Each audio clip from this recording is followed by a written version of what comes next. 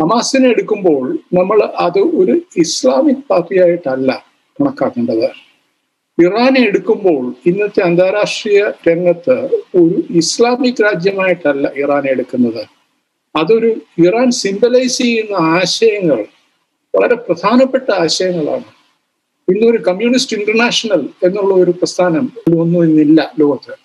പക്ഷേ ആശയങ്ങൾ ഇറാന്റെ ആശയങ്ങൾ ഇതാണ് റെസിസ്റ്റൻസ് ആണ് ഇക്വാളിറ്റി ഇത്തരത്തിലുള്ള ആശയങ്ങളാണ് അവർ അവതരിപ്പിക്കുന്നത് അവരുടെ റെവല്യൂഷനിൽ മതത്തിന്റെ ബേസിസിൽ വന്നിട്ടുള്ള ഒരു മതമാണ് അവിടുത്തെ പള്ളികളാണ് ഈ റെവല്യൂഷനെ എഴുപത്തി ഒൻപതിൽ കൊണ്ടുവരുന്നത്. അവർ ഒരു ഒരു ഒരു പ്രസ്ഥാനമായിട്ട് കൊണ്ടുവരുന്നത്. അതിന്റെ കൂടെ കൈകോർത്ത് നിന്നത് അവിടുത്തെ കമ്മ്യൂണിസ്റ്റ് പാർട്ടിയായിരുന്നു തൂതേ പാർട്ടി ഇറാനിൽ. അപ്പൊ ഇത് മനസ്സിലാക്കുന്ന ചരിത്രത്തിലോട്ട് കടക്കുമ്പോൾ ഇതൊരു ഒറ്റപ്പെട്ട ഒരു ഒരു ഒരു പ്രതിഭാസമല്ല ഇപ്പൊ നമ്മൾ ഈ ഈ ഹമാസിനെ കാണുന്നത്. ഇത് പലയിടത്തും ഇതുപോലെ ആവർത്തിച്ചു വന്നിട്ടുണ്ട്. നമ്മളുടെ ദൈനംദിന ജീവിതത്തിൽ ഇത് എല്ലാ കാലത്തും നടക്കുന്ന ഒരു സംഭവമാണ് ഞാൻ നേരത്തെ വിശദീകരിച്ചതുപോലെ. അപ്പോൾ ഈ ഹമാസിനെ സംബന്ധിച്ചോളം അതൊരു മതവിശ്വാസികളുടെ ഒരു പാർട്ടിയാണ്. പക്ഷെ അതുകൊണ്ട് അവർ മതത്തിൽ വിശ്വസിക്കുന്ന ആളുകളായതുകൊണ്ട് അവരൊരു പ്രത്യേക തരത്തിലുള്ള ജീവികളൊന്നും നമ്മൾ കണക്കാക്കാൻ പാടില്ല അവർ നിൽക്കുന്നത് ഇന്ന് ഏറ്റവും ഓർഗനൈസ്ഡ് ആയിട്ടുള്ള ചെറുത്തുനിൽപ്പ് ഈ ഇസ്രേലി അഗ്രഷനും സപ്രഷനും എതിരായിട്ട് ചെറുത്തുനിൽപ്പിൽ ഏറ്റവും ഓർഗനൈസ്ഡ് ആയിട്ടും ഏറ്റവും കൺസിസ്റ്റന്റ് ആയിട്ടും ഒരു വിട്ടുവീഴ്ചയും ഇല്ലാതെ ബാരിക്കേഡ്സിൽ നിൽക്കുന്ന ഒരു പ്രസ്ഥാനമാണ് ഹമാസ്. അതുകൊണ്ടാണ് ഈ പാലസ്റ്റീനിയൻസ് അവിടെ താമസിക്കുന്ന പാലസ്റ്റീനിയൻസിന്റെ ഇടയിൽ ഇത്ര വലിയ സ്വാധീനം അവർക്കുള്ളത്. ഇപ്പൊ ഇവിടെ ലോക്ക്ഡൌൺ ഉണ്ട്. ഫുഡ് കിറ്റുകൾ കൊടുക്കുന്നു ആളുകൾക്ക്. ഒരു ഒരു പാവപ്പെട്ട ഒരു മനുഷ്യന് ഇന്നത്തെ നിലയിൽ അവർ നോക്കുമ്പോൾ ഇന്ത്യയിൽ എവിടെയെങ്കിലും ഇത് നടക്കുന്നുണ്ടോ? നടക്കുന്നുണ്ടോ ഇത്? ഇന്ത്യയിൽ ഇതുപോലെ ഫുഡ് കിറ്റ്സ് കൊടുക്കുന്നുണ്ടോ? ഒരിടത്ത് സംസ്ഥാനത്തും ഇത് കൊടുക്കുന്നില്ല തമിഴ്നാട് ചിലപ്പോൾ കൊടുക്കുമായിരുന്നിരിക്കും. അല്ലാതെ ഒരിടത്തും നടക്കുന്നില്ല. ഈ ഹമാസ് എന്ന് പറയുന്ന പ്രസ്ഥാനം ഒരു മനുഷ്യന് സാമ്പത്തികമായിട്ട് അയാളുടെ മകളെ കല്യാണം കഴിച്ചു കൊടുക്കാനായിട്ട് ബുദ്ധിമുട്ടുണ്ട്. അതിനായിട്ട് ചിലവാക്കാനായിട്ട് പണമില്ല. ഹമാസ് ഹമാസൻ ആ പണം കളക്ട് ചെയ്ത് കൊണ്ടുവന്ന് ആ കല്യാണം നടത്തി കൊടുക്കും. ഒരു വീട്ടിൽ ഒരു ഫ്യൂണറൽ ഉണ്ടായിട്ടുണ്ട്. അവിടെ വരുന്നു. ആ അസുഖം വന്ന് ബാധിച്ചു കിടക്കുന്നു. അവരെ ആശുപത്രിയിൽ കൊണ്ടുപോകുന്നതും അവരുടെ മെഡിക്കൽ കെയർ കൊടുക്കുന്നതും. ഹെസ്ബുള്ള ഹമാസ് ഇത്തരത്തിലുള്ള പ്രസ്താവന പ്രസ്ഥാനങ്ങൾക്ക് അങ്ങനെ ഒരു വശവും കൂടെ ഉണ്ട്. ഇത് ഗ്രാസ് റൂട്ട്സ് മൂവ്മെന്റ് ആണ്. അപ്പൊ ഗ്രാസ് റൂട്ട്സ് മൂവ്മെന്റ് വന്നിട്ട് അവർ ചെയ്യുന്ന ഇതാണ്. അവരുടെ അവരുടെ രാഷ്ട്രീയം തന്നെ ഈ സൊസൈറ്റിയുമായിട്ട് കംപ്ലീറ്റ്ലി എന്റർടൈൻഡ് ആയിട്ടുള്ള ഒരു രാഷ്ട്രീയമാണ്. അതുകൊണ്ടാണ് ഇത്ര ഇത്ര വളരെ അവരുടെ റൂട്ട്സ് വേര് ഇത്ര ആഴത്തിൽ ഓടുന്നതിന്റെ കാര്യം അതാണ്. അവരെടുത്ത് മാറ്റാൻ പറ്റുന്നില്ല. അതാണ്. ഈ താങ്കൾ പറഞ്ഞു ഈ പാലസ്റ്റീനിന്റെ പി എൽ എ എന്നെല്ലാം പറഞ്ഞാൽ പി എൽ എയിലോട്ട് നമ്മൾ ശരിക്കും കടക്കരുത്. എന്ന് വെച്ചിരുന്നാൽ നമ്മുടെ എല്ലാ ചെറുപ്പകാലത്ത് നമ്മൾ ഐഡിയലൈസ് ചെയ്ത ഒരു വ്യക്തിയാണ് യാസർ അറഫാത്ത് എന്നൊക്കെ പറയുന്ന ആളുകളും അവകാശം അതിലൊരു ഒക്കെ ഉള്ളത്. പക്ഷേ പുറത്ത് ജോലിക്ക് പോയതിന് ശേഷവും മറ്റും പല കാര്യങ്ങളും അടുത്തറിഞ്ഞതിന് ശേഷമാണ് ഞാൻ മനസ്സിലാക്കുന്നത് വളരെ കറപ്റ്റ് ആയിട്ടുള്ള ഒരു ഓർഗനൈസേഷൻ ആയിരുന്നു അത്. വളരെ കറപ്റ്റ് ആയിട്ട് ഡെക്രപ്റ്റഡ് ആയിട്ടുള്ള ഒരു ഓർഗനൈസേഷൻ ആയിരുന്നു. ഇതിനെ രാഷ്ട്രീയമായിട്ട് മുതലെടുക്കുന്നത് പാലസ്തീനിയൻസിന് നല്ലോണം അവർക്ക് പലസ്തീനിയൻസ് വളരെ വളരെ സെറിബ്രൽ ആയിട്ടുള്ള ഒരു ജനതയാണ്. അവർക്ക് രാഷ്ട്രീയ ബോധം വളരെ വളരെ അധികമുള്ള ഒരു ഇതാണ്. ഈ പശ്ചിമേഷ്യയിൽ എനിക്ക് തോന്നുന്നില്ല വേറെ ഒരു ജനതയ്ക്കും ഇത്തരത്തിലുള്ള ഒരു പൊളിറ്റിക്കൽ അവയർനെസ് ഉണ്ടെന്നുള്ളത് പലസ്തീനിയൻസിന് മുന്നിൽ. ഒരുപാട് സുഹൃത്തുക്കളുള്ള ഒരു കമ്മ്യൂണിറ്റിയാണ് അതെനിക്ക് ഞാൻ പുറത്ത് ജീവിച്ചിരുന്ന കാലങ്ങളിൽ എല്ലാവരും ഒരുപാട് സുഹൃത്തുക്കൾ എനിക്കുണ്ട് വളരെ ഇന്റലക്ച്വലി ഓറിയന്റഡ് ആയിട്ടുള്ള വളരെ പൊളിറ്റിക്കലി കോൺഷ്യസ് ആയിട്ട് അവർക്ക് അത് കാരണം ഈ പി എൽ എയുടെ പി എൽ ഒയുടെ എല്ലാം ഈ എന്താണ് ഈ പുറത്തുള്ള ഇമേജ് ആണെങ്കിലും എന്താണ് ഉള്ളിൽ നടക്കുന്നതെന്നുള്ളത് വളരെ ഇതറിയാം. ഉദാഹരണത്തിന് അബ്ബാസുമായിട്ട് സ്പ്ലിറ്റ് ചെയ്ത് ഈ ദഹ്ലാൻ എന്ന് പറഞ്ഞൊരു വ്യക്തിയുണ്ട് കേട്ടിട്ടുണ്ടോ? ദഹ്ലാൻ എന്ന് പറഞ്ഞൊരു വ്യക്തി. അയാളുടെ ഈ ഫത്തായുടെ ഇന്റലിജൻസ് ചീഫ് ആയിരുന്നു. അയാളുമായിട്ട് സ്പ്ലിറ്റ് ചെയ്തു. അയാൾ വാസ്തവത്തിൽ സി ഐയുടെ ഏജന്റ് ആയിരുന്നു. ആലോചിച്ച് നോക്കും. അപ്പൊ ഏത് രീതിയിലുള്ള അധപ്പതനമാണ് ആ പ്രസ്ഥാനത്തിൽ ഉണ്ടായിട്ടുണ്ടെന്നുള്ളത് അപ്പൊ അതിന് ഈ നമ്മുടെ ഈ സെക്യുലറിസം ഇത്തരത്തിലുള്ള കാര്യങ്ങൾ നമ്മൾ അതിനെ കൊണ്ടുവരുമ്പോൾ വളരെ സിംപ്ലിസ്റ്റിക് ആയിട്ടും വളരെ സൂപ്പർഫിഷ്യൽ ആയിട്ടുമാണ് അവിടെ ഉണ്ടായിരിക്കുന്ന ഈ ഡയലക്റ്റിക്കിനെ നമ്മൾ അനലൈസ് ചെയ്യുന്നത്. അത് നമ്മൾക്ക് വഴിതെറ്റിപ്പോവും ആ രീതിയിൽ ചിന്തിച്ചാൽ അപ്പോൾ ഹമാസ് ഇന്ന് ഏറ്റവും ജനപിന്തുണയുള്ള പ്രസ്ഥാനമാണ് അവർക്ക് വളരെ ഡെഡിക്കേറ്റഡ് ആയിട്ടുള്ള ഒരു ലീഡർഷിപ്പ് ഉണ്ട്. അവർ ഈ റെസിസ്റ്റൻസിന്റെ കാര്യത്തിൽ വളരെ കൺസിസ്റ്റന്റ് ആയിട്ടുള്ള റെക്കോർഡ് ഉണ്ട്. ആലോചിച്ച് നോക്കൂ ഇപ്പോഴും അവരെടുക്കുന്ന ഈ എട്ട് ദിവസം അവർ എന്തെല്ലാമാണ് ഒരു സഫർ ചെയ്ത് പോകുന്നത്? അവർക്ക് ഒരിടത്തും പലായനം ചെയ്യാൻ പോലും സ്ഥലമില്ല. ഒരു വശത്ത് കടലും മറുവശത്ത് ഇസ്രായേലും. എന്ന് അതിനിടയിൽ കിടന്നാണ് അവർ അമുക്കുന്നത് ഈ എട്ട് വർഷത്തെ ഈ സംഘടനത്തിൽ. അവർ പിടിച്ചു നിൽക്കുന്നത് കണ്ടോ? അപ്പം മരുന്ന് കൊടുക്കുന്നത് ഇല്ലാതാവും. ഇന്നലെ മെനയാന്ന് നെത്തന്യാഹു ചെയ്തത് എന്താണ്? അവിടെ ഈ കൊറോണ വൈറസിനെ ടെസ്റ്റ് ചെയ്യുന്ന ഒരു ലാബറട്ടറി ഉണ്ട്. ആ ലാബറട്ടറി അടിച്ചു കളഞ്ഞു. ക്രൂരതയുടെ അങ്ങേയറ്റമാണ് ഈ ഈ പാൻഡമിക് നടക്കുന്ന സമയത്ത്. അതായത് ഈ ജീവികൾ ഈ ചേറ്റകൾ ചത്തുപോട്ടെ എന്നുള്ള രീതിയിൽ. അപ്പൊ അത്തരത്തിലുള്ള പെർസിക്യൂഷനാണ് അവർ ഈ അവരുടെ ചരിത്രത്തിൽ ഈ ആധുനിക ചരിത്രത്തിൽ അവർ കടന്നുപോയിട്ടുള്ളവര് ഈ ഗസയിലുള്ളവര് ആഹാരം കിട്ടുന്ന ബുദ്ധിമുട്ടാണ് പവർ ഇല്ലാതെ സാനിറ്റേഷൻ ഇല്ല മരുന്നുകളില്ല. ഒന്ന് എല്ലാ സപ്ലൈഡും ബ്ലോക്ക് ചെയ്തല്ലേ? ഇസ്രേലി ബ്ലോക്ക് ചെയ്ത്. അത് കാരണം വളരെ വലിയ പ്രൊവേഷൻസ് ഉള്ളതാണ്. അതിനെല്ലാം സഹിച്ച് പിടിച്ചു നിന്ന് ഒരു റെസിസ്റ്റൻസ് മൂവ്മെന്റ് ആയിട്ട് മുന്നോട്ട് പോകുന്നു എന്നുള്ളതാണ്.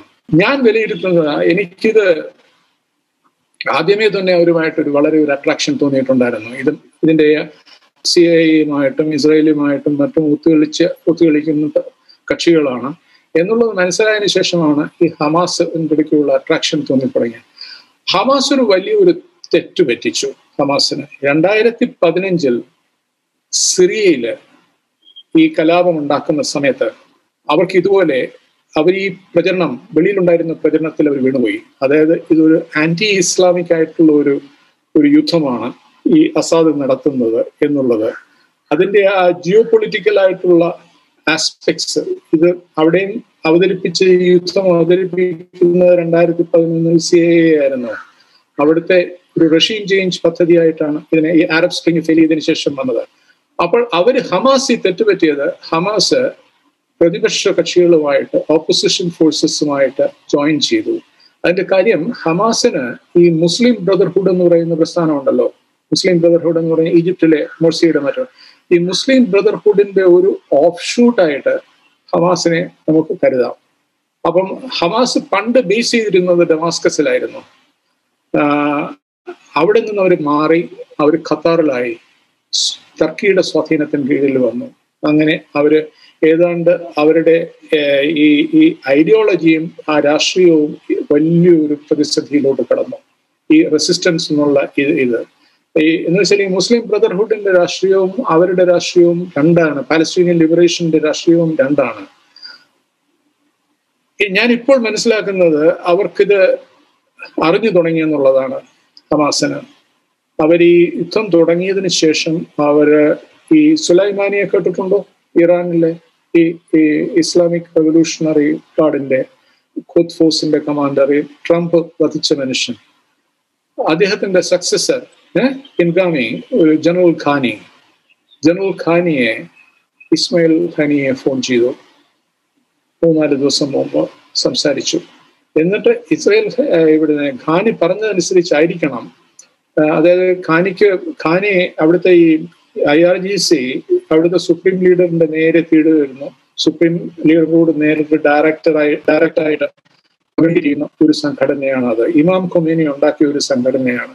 വിപ്ലവത്തിന്റെ നിലനിൽപ്പിന് വേണ്ടി അവിടുത്തെ പട്ടാളത്തിനും പോലീസ് ഫോഴ്സിനും ഒക്കെ അതിൽ നിന്ന് മാറി വേറൊരു സംഘടന ഈ ഇസ്ലാമിക് റവല്യൂഷണറി ഗാർഡിനെ ഉണ്ടാക്കുന്നത്. പ്രിറ്റേറിയൻ ഗാർഡ്സ് ഓഫ് റവല്യൂഷൻ ഇംഗ്ലീഷിൽ പറഞ്ഞാൽ പറയാം. അങ്ങനെയുള്ള ഒരു ആണ് അത്. അപ്പം അവർക്ക് വളരെ വലിയ പവർ അത് കാരണമുണ്ട്. എന്ന് വെച്ചാൽ സുപ്രീം ലീഡറിനെ നേരിട്ട് കണ്ട് നേരിട്ട് നിന്ന് ഓർഡർ എടുക്കുക അങ്ങനെയുള്ള ഒരു പ്രസിഡന്റിനെ ഒന്നും അവർക്ക് അങ്ങനെ വഹിക്കേണ്ട ആവശ്യമൊന്നുമില്ല. അപ്പൊ ഖാനി പറഞ്ഞതായിരിക്കണം എന്റെ പിറ്റേ ദിവസം ഇസ്മായിൽ ഖനിയെ അവിടെ ഒരു വ്യക്തിയുണ്ട്. പണ്ട് ഫോറിൻ മിനിസ്റ്റർ ആയിരുന്ന ഒരു വ്യക്തിയാണ്. നമുക്ക് ഇന്ത്യയ്ക്ക് വളരെ നല്ല അടുപ്പമുള്ള ഒരാളായിരുന്നു. അലി അക്ബർ ബലായത്തി എന്ന് പറഞ്ഞു. അദ്ദേഹം ഈ ഇന്ന് ഈ സുപ്രീം ലീഡറിന്റെ പൊളിറ്റിക്കൽ അഡ്വൈസറാണ് ഒരു ഡോക്ടറായിരുന്നു വളരെ ഡിസ്റ്റിങ്വിഷ്ഡ് ആയിട്ടുള്ള ഒരു ഡിപ്ലോമാറ്റ് ആയിരുന്നു പല വർഷക്കാലം ഇപ്പോൾ ജീവിതത്തിന്റെ ഏതാണ്ട് ഒരു അവസാന ഘട്ടത്തിലോട്ട് കടന്നിരിക്കുകയാണ്. അതായത് അഡ്വൈസർ ആയിട്ട് ആണ് പൊളിറ്റിക്കൽ അഡ്വൈസർ സുപ്രീം ലീഡറിനോട് വളരെ സുപ്രീം ലീഡറിന് വളരെ ഇഷ്ടമുള്ള ഒരാളാണ്. സുപ്രീം ലീഡറിനോട് വളരെ അടുപ്പമുള്ള ഒരാളാണ്. ഹനി പറഞ്ഞതനുസരിച്ചായിരിക്കണം ഹനിയെ ഹമാസിന്റെ ചീഫ് വെലായത്തിയെ ഫോൺ ചെയ്ത് സംസാരിച്ചു. അപ്പോൾ ഒരു ഒരു അർത്ഥം അതിന്റെ അർത്ഥം എന്താണ് നമുക്ക് വളരെ ചുരുക്കത്തിൽ പറഞ്ഞാൽ ഹമാസ് ഇന്ന് ഇറാന്റെ സഹായം തേടിയിരിക്കുകയാണ്. വളരെ വ്യക്തമാണത്. അപ്പോൾ ഇറാന്റെ സഹായം എന്ന് പറഞ്ഞാൽ ഈ രണ്ടായിരത്തി ആറ് രണ്ടായിരത്തി ഏഴിൽ ലെബനനിലുള്ള ഒരു സ്ഥിതിവിശേഷമാണ് ഇന്ന് ഗാസയിൽ ഉണ്ടായിരിക്കുന്നത് അതായത് ഈ ഞാൻ നേരത്തെ പറഞ്ഞ കണക്ക് ഈ ജിംനേഷ്യത്തിൽ നിന്ന് അടിച്ചു നിന്ന പഞ്ച് ബാഗ് പോലെയാണ് ഈ ഗാസ ബത്തിനാഹുവിന് എന്തെങ്കിലും ഇറിറ്റേഷൻ വരികയാണെങ്കിൽ ഉടനെ കുറെ വിമാനങ്ങൾ ഇങ്ങോട്ടേക്ക് അയക്കുക അവിടെ ബോംബ് ചെയ്യുക റോക്കറ്റ് അടിക്കുക അടിച്ചു തകർക്കുക എന്നിട്ട് മസിലെടുക്കുക ഞാൻ വളരെ ശക്തിമാനാണ്. എന്നുള്ള ഒരു ബിംബടിക്കുക എന്നുള്ള ഒരു ഒരു ഒരു ബോധമാണ് അദ്ദേഹത്തിനുള്ളത്. ഇതുപോലെ തന്നെയായിരുന്നു അദ്ദേഹം പണ്ട് കാലങ്ങളിൽ ലെബനനിൽ ചെയ്തുകൊണ്ടിരുന്നത്. കൂടെ അവിടെ കയറി ആക്രമിക്കുമായിരുന്നു.